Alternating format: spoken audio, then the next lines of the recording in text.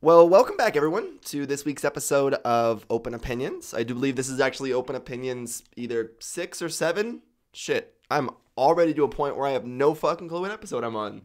Uh, but nonetheless, welcome back, guys. I know it's been about five or six days since I've actually gotten anything on the channel.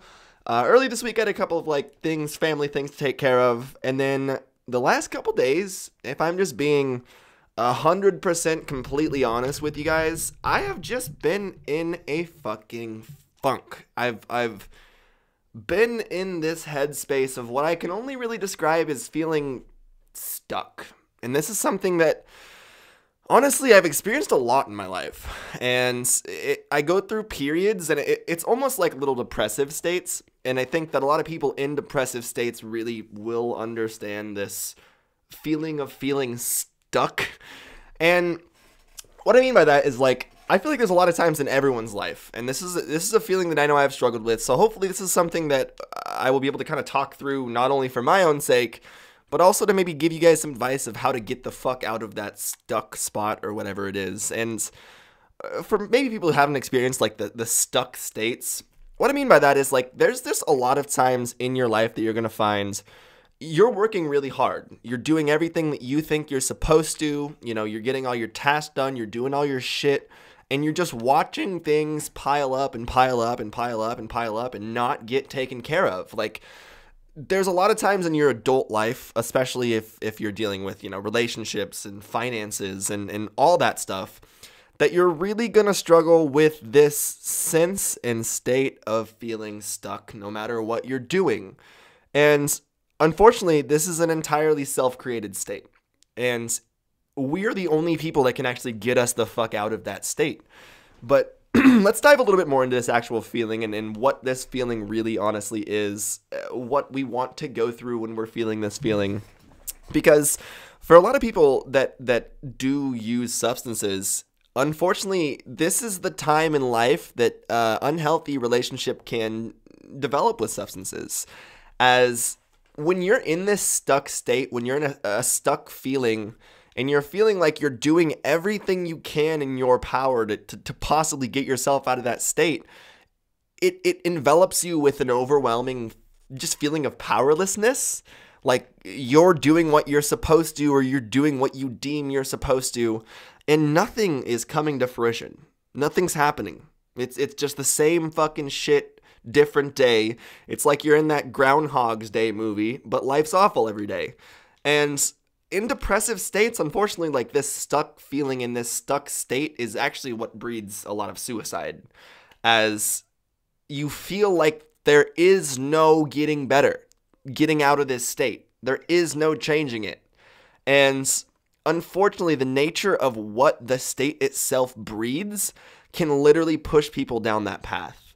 Because a lot of people in the state of stuck and helpless and feeling like that, hopeless, eh, you're not really rationally viewing the situation as a lot of this like i said is is fraught with mental illness. It's in depression. It's in chemical imbalances and stuff. And it's something that you really don't have immediate control over and you until you can recognize that it is a power almost outside of you.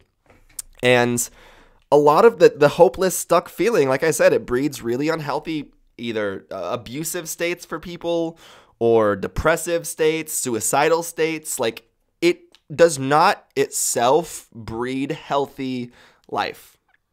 And the stuck state is like a, a, a cycle of stuckness almost because you feeling stuck usually breeds these feelings of like inadequacy or, or, or self-doubt or or confidence issues and you stop doing what you know you're capable of and that's really when the stuck thing starts having a, a, negative impact on your entire life. And this is something that I directly I experienced this months ago.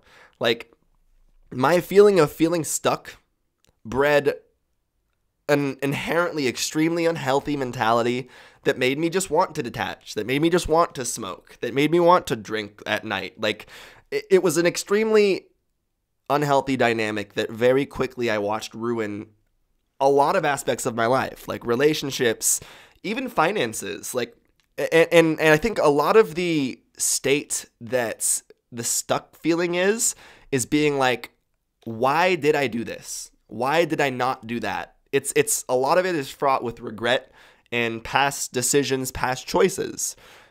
Instead of moving forward, your brain is wanting to be like, why did this happen? Why did I have to go through this? This is bullshit. I tried so hard. I was trying so hard this entire time. And your brain is not trying to lead you down the path of getting out of it.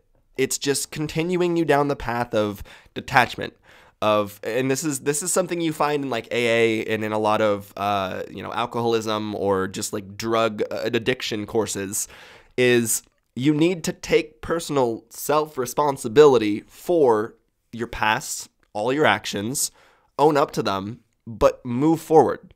Because the life you're living today is the life you're living today. It's the life you're afforded. You woke the fuck up today. That's like a really, really, really, really important thing to hold on to is that you are alive. You do have the choice and, and the option right now to change whatever it is. And a lot of like I said, the stuck mindset breeds a feeling of I can't do this, I'm incapable, and and you start detaching from the truth and the reality, which is you're very capable of getting unstuck. Everyone gets stuck in their life. Every single person. Realistically, our adult life is a series of fucking up and then trying to figure out how to fix that fuck up to move on and build a better life. Like that is a very natural part of life. And when you're in the depressive states, when you're in mentally unwell states, that's not something you can rationalize and a scope you can, a lens you can view things through. You just see things suck. I don't feel good today. I'm struggling right now. I'm going to get high. I'm going to drink. I'm going to do X substance, whatever it is. Xanax is a huge one for people that want to detach because it makes them not feel feelings. Like they're numb. That's why you see a lot of like the rapper community that's dealt with like, you know, a lot of abuse in their life or a lot of troubles through their hard upbringing end up on substances like, you know, Henny, like alcohol or Xanax. It's because they're drowning pains from their past instead of, you know, trying to work through them or overcome them. And this is all kind of, I think, tied directly into mental health, in my opinion. As uh, yes, this is this is an aspect of mental health that needs to be looked at as the stuck mentality and the stuck feeling that a lot of us go through on a pretty consistent, normal basis. A lot of us don't have healthy means of outlay or outpour. We don't have healthy outlets. like our outlets are are smoking a fuck ton of weed until everything's okay, or they're drinking until everything's okay. And that's not what we need to be for the sake of our own progression and growth and actually getting unstuck be doing. Because if you keep going down that path of, of abuse of whatever substance it is, or you know detachment in whatever way you detach even video games some of us just play a shit ton of video games to detach from life that is okay sometimes but not always as what ends up happening is you breed a state of detachment and and unfortunately in life we need these states of stuckness. We need these states of sadness. We need these states of struggle because there's a yin and a yang to life. We need the bad to really actually appreciate the good, to see the good, to not get caught in the good, and to, to recognize the good. So, what happens is when we're only detaching from the negative, harmful, sad states, we're not living in them and we're not rationalizing them. So, we're seeing life from a disconnected lens of, of just reality when you only look at the positives and you only detach from the negatives, the positives aren't as positive. The positives become less important, they hold less weight. And it just breeds a, a dynamic of never feeling like there's enough. Never feeling you're always chasing a high. And you're always living a life that's having to be on this or with this instead of just enjoying this. Enjoying this. Like, life itself is really hard for a lot of us. Our upbringings, not everyone had easy ones. A lot of us had really fucking hard upbringings. And that's what makes us us. And I'm not saying that people who didn't have tough, rough upbringings or or haven't had past fraught with shit aren't great people or characterly great people or didn't, you know, adapt to be the person they are, they did the same way. But if you've gone through pain and you've dealt through pain and you've you've you've actually experienced a past, then you have to be okay with that. And you have to come to terms with that instead of feeling like it's unfair. You can't be like, "Well, why did they get a better life? Why did they get a better? Why did they?" We're too outside of ourselves. And we're trying to be outside of ourselves because we're not okay with ourselves a lot of the time. That's especially people who haven't gone through counseling and gotten that scope. Um, but it's important to come to terms with you and come to terms with overall this really fucking important mentality. You are responsible for your life. There's going to be shitty people that are going to do shitty things at specifically your expense. People are going to hurt you. People are going to fuck you over. There is going to be negative things and people in your life. But guess what? There's one thing you can control your reaction, how you adapt, and how you overcome to those things.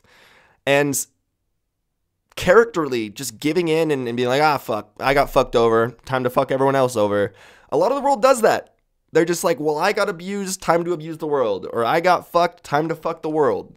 And that literally will con- create a continual cycle of abuse and of pain and of hurt and of sadness and of feeling stuck and of resent. It's just that entire path is horribly, unbelievably negative.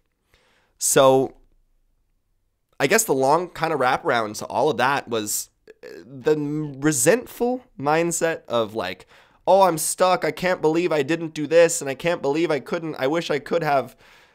Stop living in the past. Learn from your past. Don't live in it.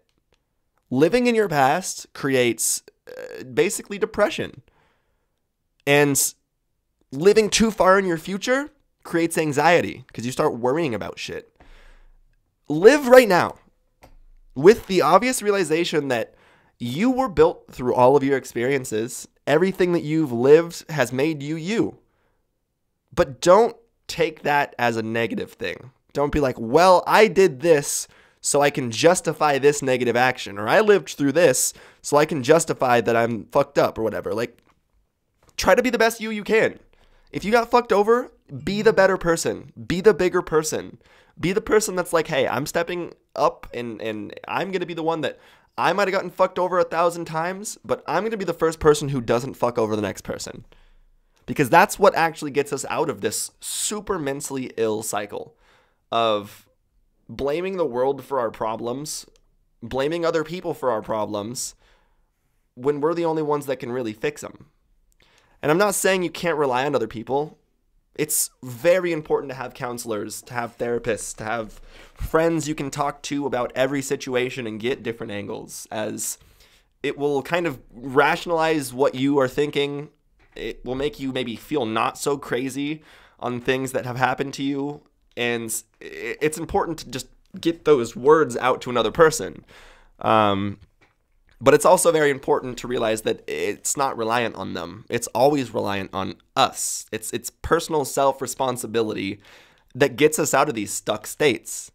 And sometimes the stuck state is a personally, you know, uh, I'm not going to say really personally like put on, like you didn't do it to yourself. It was probably mental illness, but it's a state that you're perpetuating. It's a state that you're just sitting in that you, because you don't know how, because you've never been shown how, you just deem that it's either not possible or that that state's going to exist forever when it's not true. Like that that state is is is very very very easily gotten out of. I, I can't say easily. It's easy when you start trying though.